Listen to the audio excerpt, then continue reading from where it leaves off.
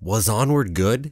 I saw Onward at an advanced screening yesterday, and I'm ready to share all my magically juicy opinions with you. First, spoiler free, and then after proper warning, with all the spoilers you could want.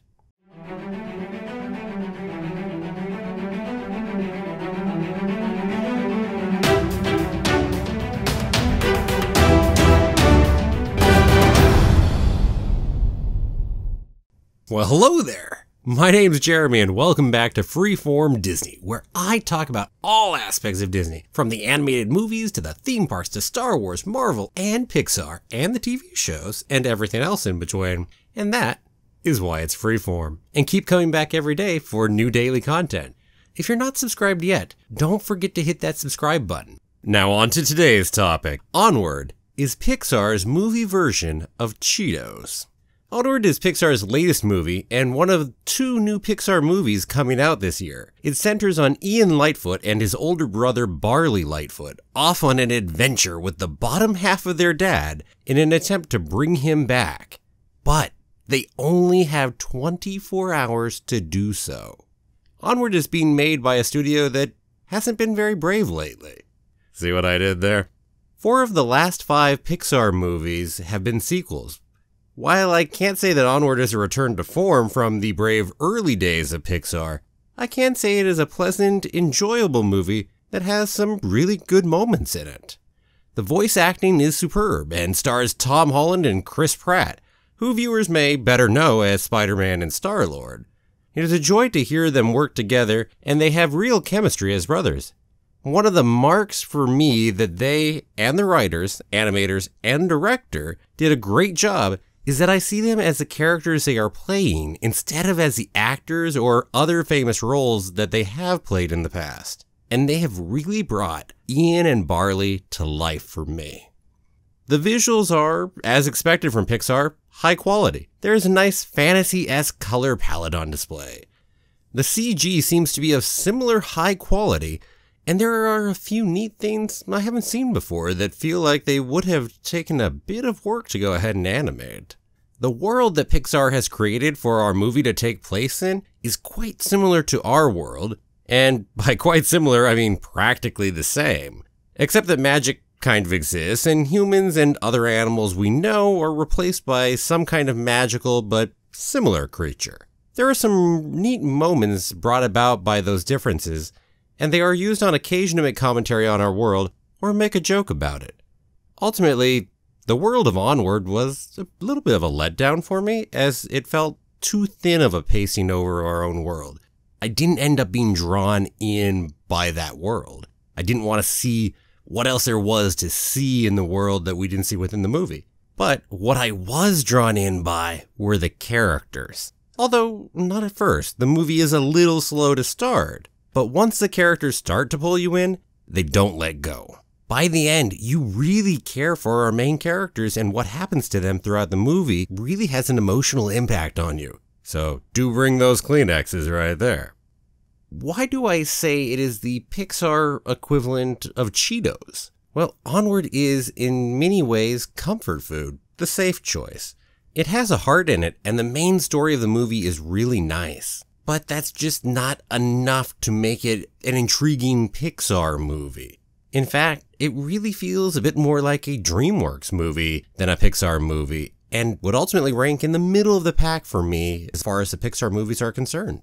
Now, that's still a good place to be, and I do recommend you see Onward.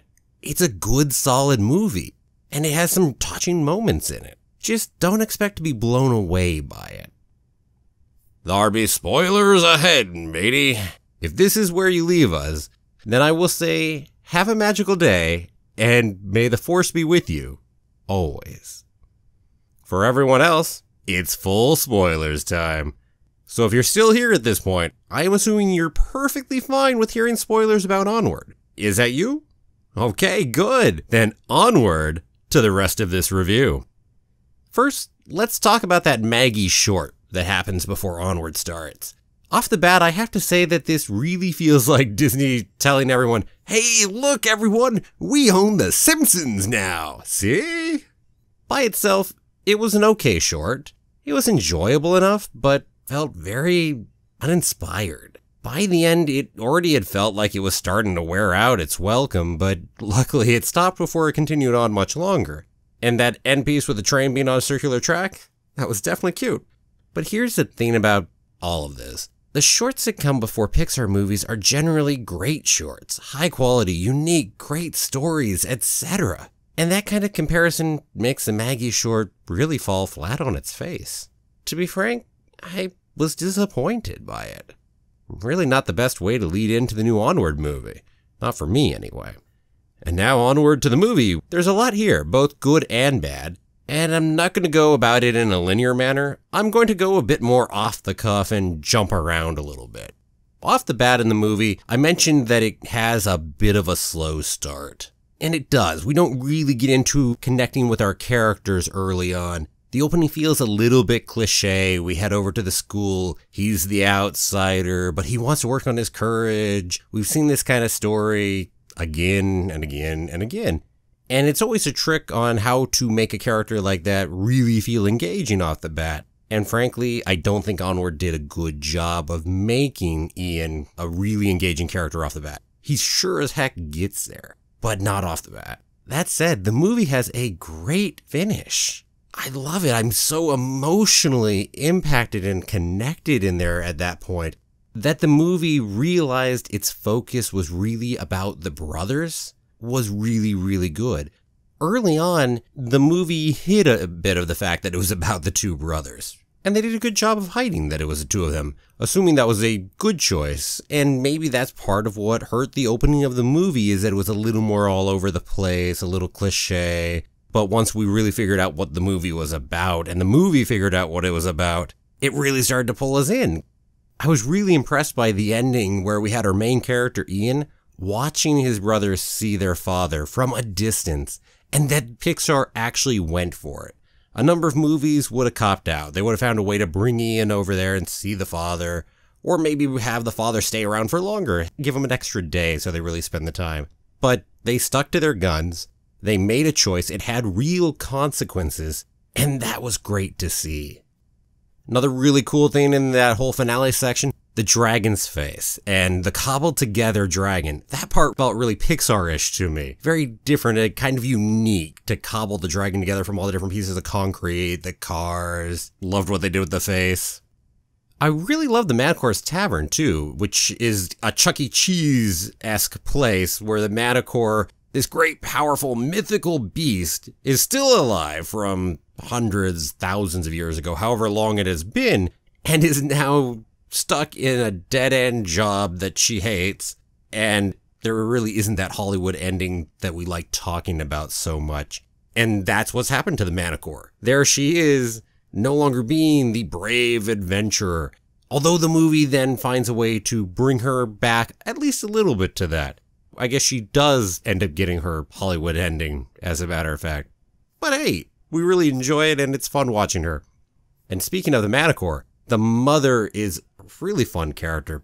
Love her as a character. I love her going ahead and flipping her older son earlier on in the movie. It's a great way to introduce her character and give us an idea of what to expect from her right off the bat. Quick note, there's no button at the end of the credits, and I kind of thought there would be a button, so I was a little surprised by that, and that's okay. It doesn't need to be a one. I really feel the opening to the movie is unnecessary and maybe not a good way to open onward it's cool to see the fantasy world, but it's not relevant to the rest of the movie. The info that we need for it is within the dad's note that comes to them later, and if we had first been introduced to it at that point of time, then we would have been watching from Ian's perspective, who doesn't believe in the magic, who doesn't believe his older brother is right about this. And that, I think, would have been a better play because we would have been in his shoes, seeing things through his eyes. Ultimately, they might just not have known a better way to open the movie, and it was a fun opening nonetheless. Okay, let's talk about the officer dating the mother. That character is really uninspired. He's a bit of a walking cliche, not a fan of him. I mean, I wanted to like, you know, all the characters involved, but we make him a buffoon right when we introduce him as he's knocking stuff over in the house. And frankly, if he's been part of this world. This whole world's been built around him. He's used to going into houses. He shouldn't be knocking stuff over left and right. It was only done to make him just that, a buffoon. So he comes across as very two dimensional. And when we go to the car chase later on, where he calls in for the backup, it continues that two dimensional aspect of him as a character rather than trying to really have an emotional connection with our two main characters of Ian and Barley. We turn into a cliche car chase, which frankly was unnecessary. It would have been fine just with him chasing them. I wish they had gone a different direction there and really had him try to have a heart to heart with the two of them to bring them back. We didn't get it, and it's too bad. Probably my least favorite character that was of any size within the movie. While we're talking about things that aren't as great, I'm going to wade into the LGBT character here. It's great to have more representation. I love that. Based on the way they clearly trumpeted about this character, they thought it was a giant big deal. And yet, this character is on there for very little time and on top of that, such a short, throwaway little piece that I can be fairly confident Pixar is probably going to just delete that scene when they show it in other countries. So anyone who is worried about it, now we're dumping it. So we're not really being that representative as Disney and Pixar. And that's too bad because Disney doesn't have a good track record on this front anyway. It would be nice if they would just include characters that are more representative of the actual world. Let's talk about some of the good stuff now. How about the brother's fourth memory? Oh, I love that piece. We heard so much about the three memories that he was so used to talking about with his younger brother. But then it came up that guess what? There was a fourth memory that he hadn't told his younger brother. And there was good reason he hadn't told his younger brother. Because this was a painful memory that really drove his character. His last memory of his father was being unable to go into the room to say goodbye to him because he looked scary, hooked up to the cords. He didn't look like himself. And because of that, Barley feels that he needs to put on this brave persona through the rest of his life. And it's gotten him into all kinds of trouble. But it's a touching moment. It's great. And it plays into the finale so well because there's another part of my favorite, favorite part is when Ian realizes that it's his brother he's been so close to all this time, even though they have problems, they have fights. But the connection he has with his brother matters so, so very much. And what he's looking for in his father, he already has with his brother. And then he's able to make a decision that is really, really touching when he goes ahead to fight the dragon off and let his older brother spend what little time they're going to get with the father. And knowing that he would not be able to see his father at all, what he had been looking forward to for years and years in his life. But he realized that it meant more to Barley than it did to him. Barley, who actually had seen their father before, Barley, whose last memory was a horrible memory to have of their father, and that this would be able to fix that. And so that was such a touching moment, and I loved it. And the payoff of a moment like that made Onward so much better a movie. And while we're talking about that, the list really was great. If we caught on to it earlier on, we could see that it was talking about the brother. And we saw the different shots, like the dancing that happened earlier, the playing of catch, etc. And it was really nicely done. Loved the dancing piece, uh, some good humor there. And we found out the father wasn't this perfect paragon that we may have hoped for him to be. And that's a really good touch, too. Couple other things before I go ahead and sign on off. The Guinevere sacrifice, really well done an unexpected touching moment, especially when we're talking about a car. We're talking about an inanimate object, but of course, it's what the car means to Barley. And it's what it means to Ian for Barley to sacrifice the car. Loved it sounding like a horse when it started up and dropping the wheel as it went off onto its final journey to go trot off into the distance. Really nice touches. And as the namesake of this video, yes, the giant Cheeto was really cool too and Barley eating their boat. I mean, come on, if you're on a giant Cheeto, you're probably going to eat your own boat too, right? Ultimately, I don't think this is a movie I'm going to come back to watch again anytime soon, but I certainly enjoyed watching it the one time.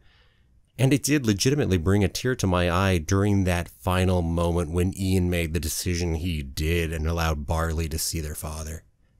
there you have it. Those are my thoughts on the movie Onward.